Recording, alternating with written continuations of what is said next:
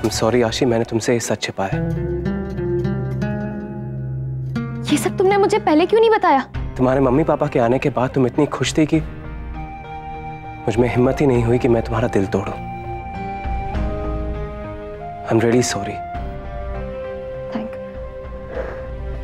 thank you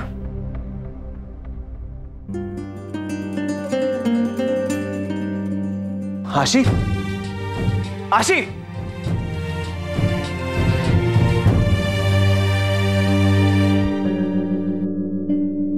कौन हो तुम लोग?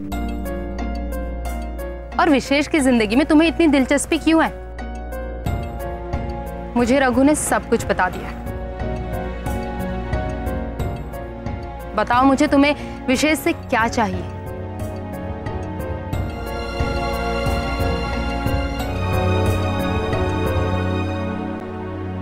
देखिए, हमें विशेष से कुछ नहीं चाहिए।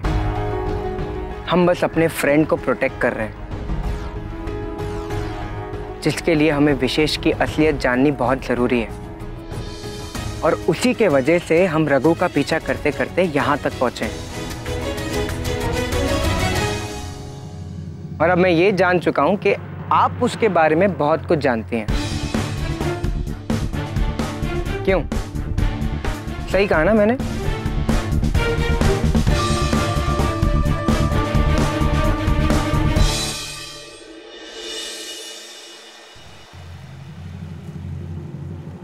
पैसे खो दिए पूरे के पूरे? अरे बेटा खोए नहीं हमें लूट लिया गया। दो लोग बाइक पर आए और बाइक पर आए या कार में आए क्या फ़र्क पड़ता है? पैसे तो गए ना? अब पैसे लेकर टहलने निकलेंगे तो यही होगा। आपको पता भी है कितनी मुश्किल से मैंने वो दस हज़ार इकट्ठा किए थे। पापा जी आपने वो बाइक का नंबर या कुछ और नोट किया था? नहीं बेटा मौका ही नहीं मिला। वो पर्स ऐसे छीन के निकल गया। पर अकेले गए क्यों? जैसे पैसे मांगे थे वैसे ही कह देते मैं खुद वकील को दे देता। इतना सब कुछ करता हूँ वो भी कर देता। पर नहीं आपको तो सबको दिखाना है कि मेरा बेटा मेरे लिए कुछ नहीं करता हमें हमेशा खुद ही सब कुछ करना पड़ता है। बेटा। जबलपुर में चोर बाइक पर आकर पैसे लूट के ले गए। ये तो मैं पहली बार सुन रही हूँ। तुम्हारे कहने का मतलब क्या है? हम झूठ बोल रहे हैं। मुझे नहीं पता पर इतना पता है कि आपको मेरे पैसे की कदर नहीं। आशीष। और ना ही आप मेरी बात मानना चाहते हैं आप बस अपनी मनमानी करना चाहते हैं। आपकी जिद की वजह से जो दिक्कतें मुझे झेलनी पड़ती हैं वो अब मैं और नहीं झेल सकता। अब आप मुझसे कोई उम्मीद मत रखिएगा। बहुत हुई आपकी मनमानी।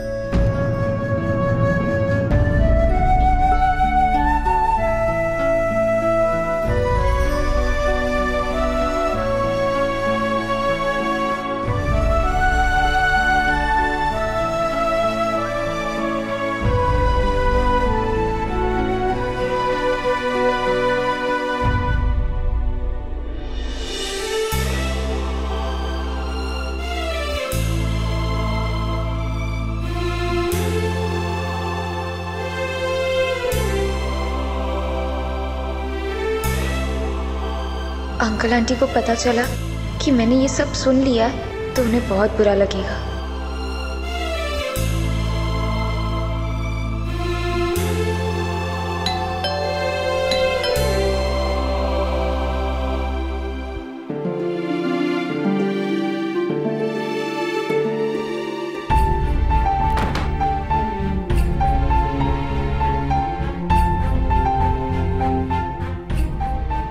आ सकती हूँ ना? उस दिन की तरह नाराज़ तो नहीं होंगे?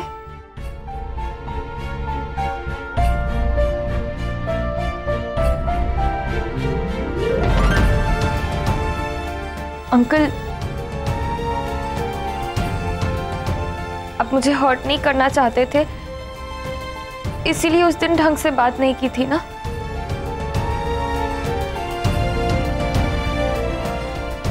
मुझे पता चल गया है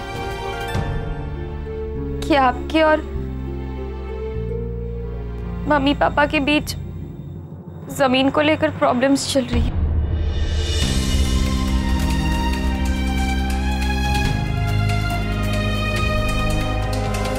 क्या? आशी ने पैसे देने से इनकार कर दिया? लेकिन क्यों? सर लगता है आशी मैडम को पता चल गया है कि हम उस बुड्ढे के ज़मीन के टुकड़े को हथियाने के चक्कर में हैं। लेकिन ये बात आशी को बताई किसने? सर वहाँ एक लड़का था। जिसने आशी मैडम को पैसे देने से रोका था। मुझे लगता है उन्हें सब कुछ पता चल गया है। इससे पहले आशी फ़ोन करे मैं फ़ोन बंद कर देता हूँ। बात बहुत आगे बढ़ चुकी है। बात इतनी आगे बढ़ने ही नहीं देती अगर अगर मुझे पहले से सब पता होता। वो तो अच्छा हुआ। शेष ने मुझे बता दिया। और और आप लोग बिल्कुल चिंता मत कीजिए। मैं बात करूँगी मम्मी पापा से। वो लोग ऐसा गलत कैसे कर सकते हैं आपके साथ? नहीं। बेटा सीपीओ जैसी सुंदर आँखों में आँसू नहीं। खुशी से चमकते मोती अच्छे लगते हैं।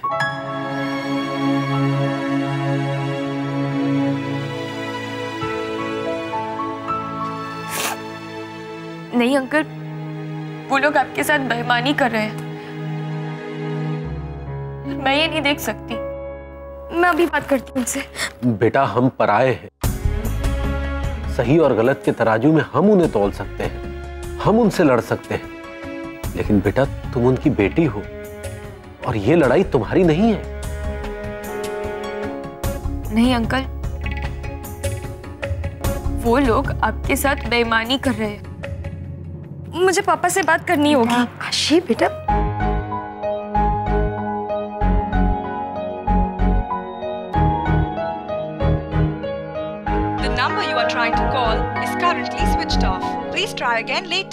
मुझे तो यकीन ही नहीं हो रहा।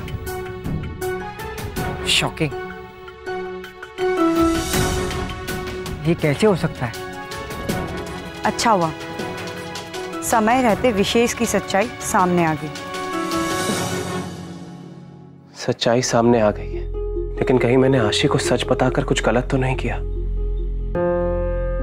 पता नहीं आशी कहाँ गई है। बेटा उस दिन तुम ये यहाँ भूल गई थी। हमें बहुत बुरा लगा बेटा कि पेरेंट्स डे के दिन तुम अपने पेरेंट्स को ये नहीं दे पाई। आज दे देना। आशी तुम्हारे मम्मी पापा को बहुत खुशी होगी ये जानकर कि तुम उनके लिए ये तोहफा लाई हो।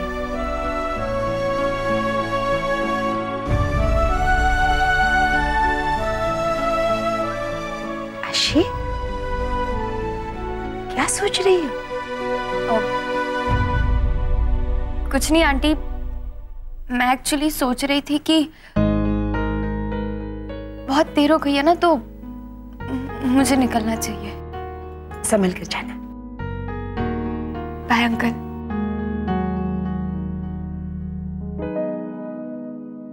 अब पैसे लेकर टहलने निकलेंगे तो यही होगा। आपको पता भी है कितनी मुश्किल से मैंने वो दस हज़ार इकट्ठा किए थे। मर कहने का मतलब क्या है? आप झूठ बोल रहे हैं। मुझे नहीं पता पर इतना पता है कि आपको मेरे पैसे की कदर नहीं।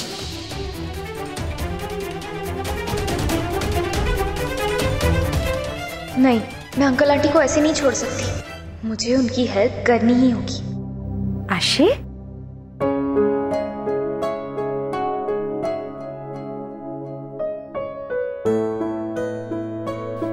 अंकल, आंटी प्लीज़ मुझे गलत मत समझिएगा, पर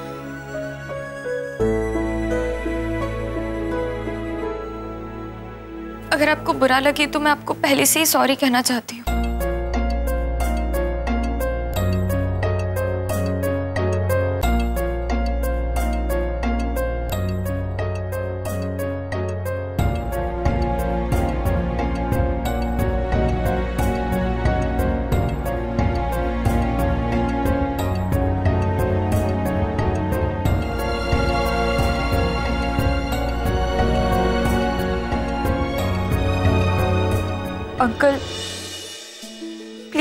तरफ़ से ये दस हज़ार रुपए रख लीजिए।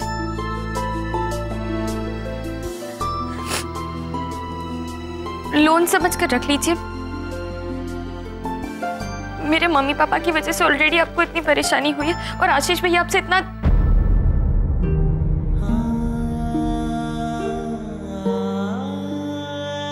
तुम्हें कैसे पता कि आशीष वो गुस्सा है? क्या तुमने सब सुन लिया था?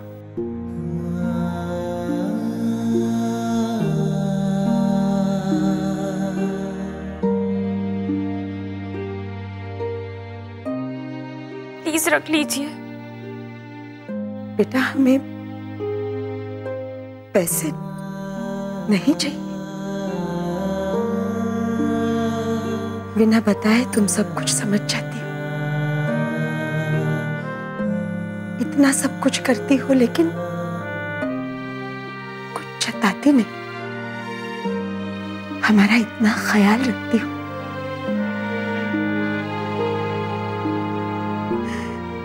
लिए इतना ही काफ़ी है। बेटा, तुम्हारे मम्मी पापा के साथ लड़ाई के लिए हम उनकी बेटी से ही पैसा ले और उन्हीं के खिलाफ लड़े, ये तो अच्छी बात नहीं है ना बेटा? लेकिन तुम्हारी ये बात हम ज़िंदगी भर याद रखेंगे। सिर्फ़ और सिर्फ़ तुम ही ऐसा सोच सकती हो और तुम ही ऐसा कर भी सकती हो बेटा। जाओ बेटा घर जाओ। बहुत देर हो गई है। बेटा पैसे अंदर रख दो।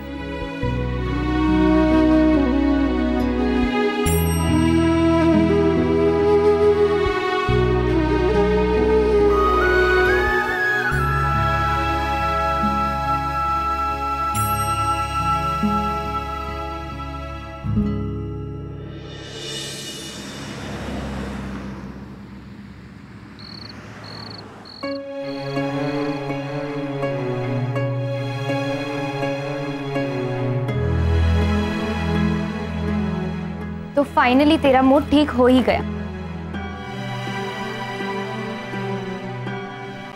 पता है साहिल आज क्या हुआ? आशी उससे पहले मुझे तुझे कुछ बताना है।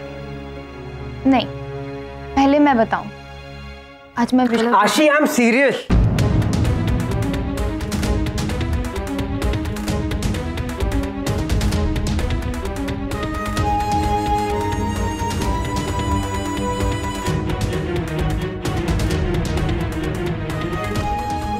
क्या हुआ साहिल?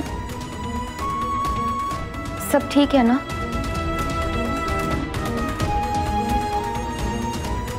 मुझे कुछ बताना है उस महान आत्मा के बारे में।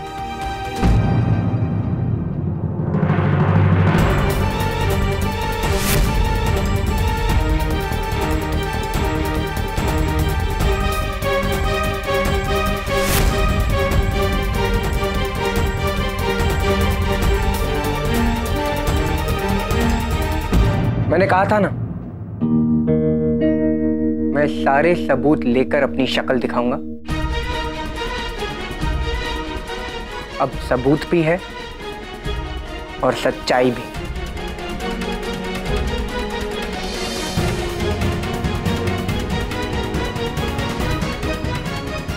हम तीनों ने मिलकर अच्छे से इन्वेस्टिगेशन की।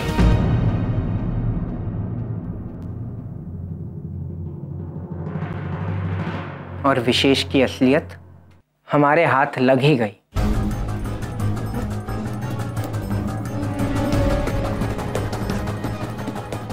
साहिल बस बहुत हो गया।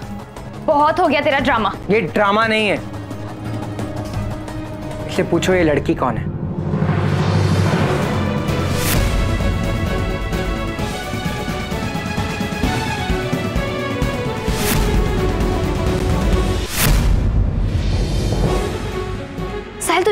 बार कहते सब।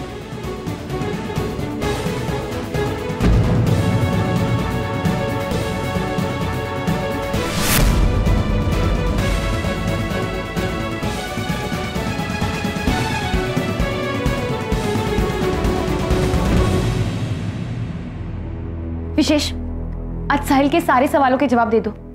वरना ये कुछ भी बोलता रहता है। बताओ ये लड़की कौन है? बोलो विशेष। मैं बताता हूँ। ये वही लड़की है, जिसने विशेष के खिलाफ केस किया था। ये वही लड़की है, जो अब से कुछ वक्त पहले विशेष की गर्लफ्रेंड थी। इसका नाम मीतू है। विशेष? ये साहिल क्या बोल रहा है?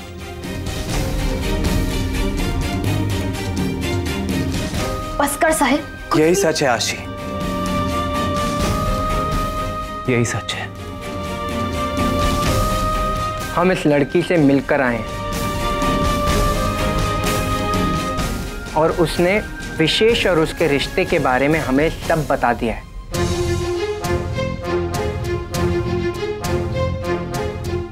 अब आगे मैं बताऊँ?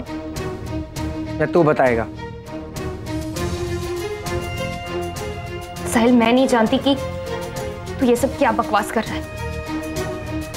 बस इतना जानती हूँ कि विशेष को किसी भी तरह की सफ़ाई देने की ज़रूरत नहीं ज़रूरत है आशी। आज मैं सब बताऊँगा। सब कुछ। मैं और मीतू कॉलेज में मिले थे। और कुछ ही वक्त में एक दूसरे को पसंद भी करने लगे थे। हम दोनों एक दूसरे से प्यार करने लगे और आगे की प्लानिंग करने लगे। फिर अचानक वो इंदौर गए अपने कजन्स की शादी के लिए। दस दिन हो गए, उसने मेरा फ़ोन भी नहीं उठाया और मेरे मैसेजेस का रिप्लाई भी नहीं कर रही थी। क्या हुआ? यार, आज मीतू को इंदौर से आए दस दिन हो गए। ना मेरा फ़ोन उठा रही है, ना मेरे मैसेजेस का रिप्लाई कर रही है। चल उसके घर पे जाके देख के आते हैं क्या बात है। चल।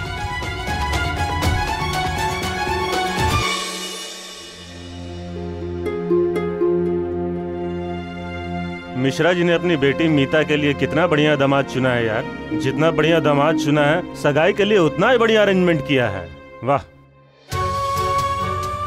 मीतू की एंगेजमेंट ऐसा नहीं हो सकता। वो मेरे साथ ऐसा कैसे कर सकती है?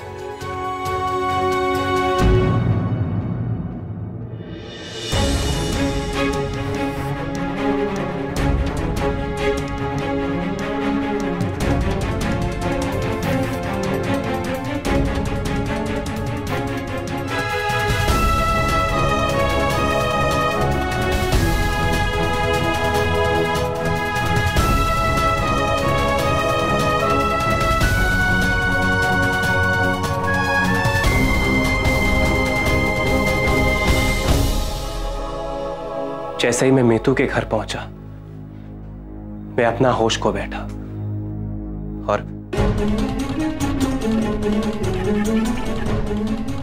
यही सच है आशी। तुम मानो या ना मानो, उस दिन यही हुआ था।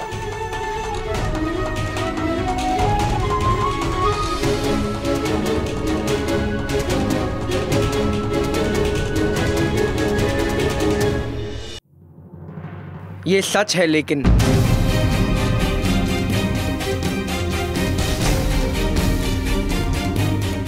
लेकिन ये सच अधूरा है।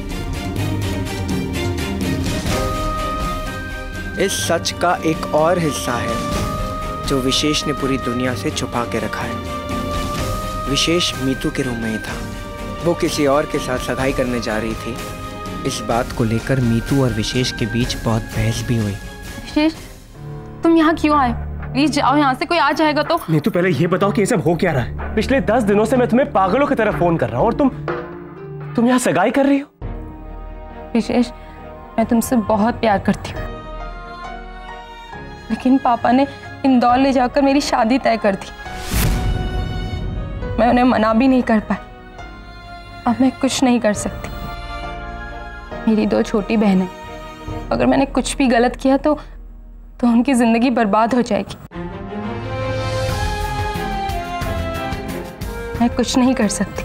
तुम प्लीज़ जाओ यहाँ से।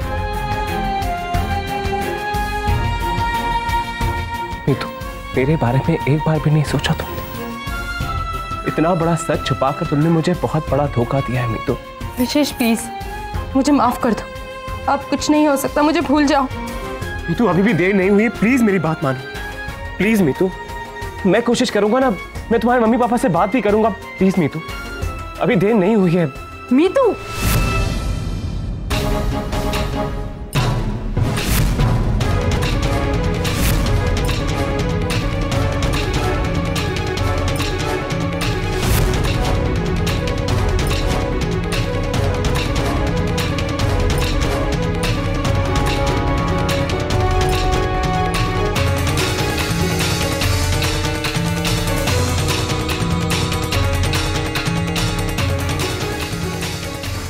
आ गया? मेरे ही घर में आके मेरी बहन को छेड़ रहा है। सालों से पीछे पड़ा हुआ है।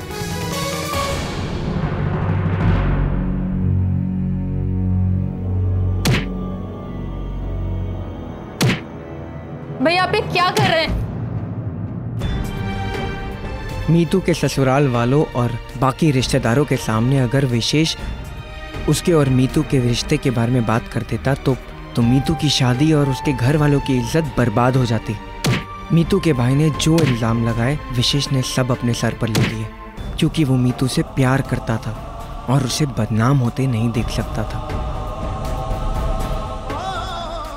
मीतू के भाई ने विशेष पर लड़की से छेड़खानी का केस डाल दिया और इसी आरोप में तीन महीने की सजा भी काट दी। विशेष ने आज तक ये बात किसी को नहीं बताई। क्योंकि वो ये नहीं चाहता था कि मीतू की शादीशुदा ज़िंदगी में कोई प्रॉब्लम आए। और ये बात मीतू ने हमें खुद बताई है। विशेष जैसा अच्छा इंसान मैंने आज तक नहीं देखा। मेरी वजह से वो जेल तक चला गया। मेरी वजह से उसकी ज़िंदगी रुक सी गई। इसीलिए मैंने अपने लॉस से छुपाकर रघु से कहा कि उसकी बेल करवा दे। इससे ज़्यादा मैं विशेष के लिए कुछ नहीं कर पाई। विशेष ने मीतू के साथ कोई गलत काम नहीं किया। वो बेगुनाह है।